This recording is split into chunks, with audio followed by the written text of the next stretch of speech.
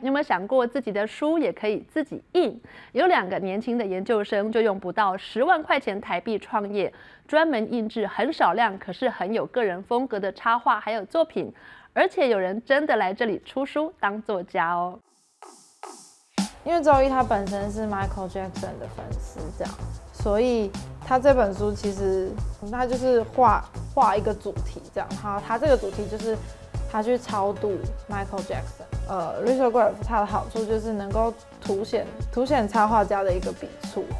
这本手掌大小的小书只限量印刷出版五十本。插画家周一想一圆出版梦，而还是研究生的小四和女友 P P 帮他完成了。在我们的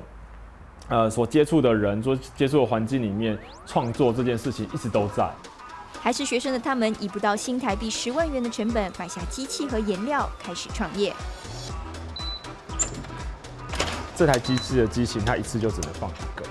那所以，我们每次印完一色以后，我们就会再做换色的动作。这个大小不超过二十平的工作室，吸引许多平面设计师以及插画家来印制自己的作品，像是传单、明信片，或者是自己天马行空的想象。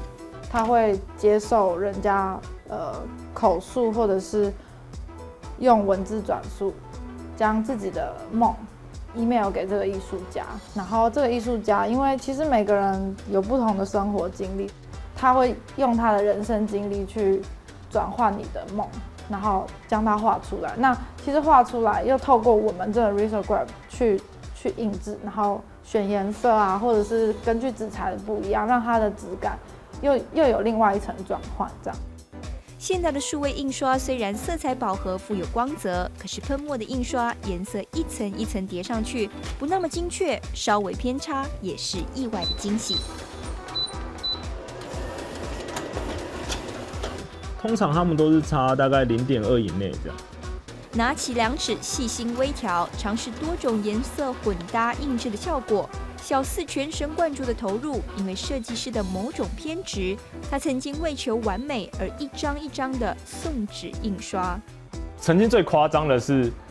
我为了要让它可以，嗯，品质都好，我每一张就是一张一张送。因为像刚刚看到，它可以快速快速的去印制，可是快速的印制有时候比较细节的地方它容易偏掉，那我就会变成说，我就一张一张手送。对，那我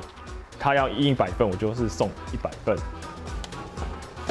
小四的 BB 不只是单纯提供印刷服务，而是和作者激荡火花，成为共同的创作者。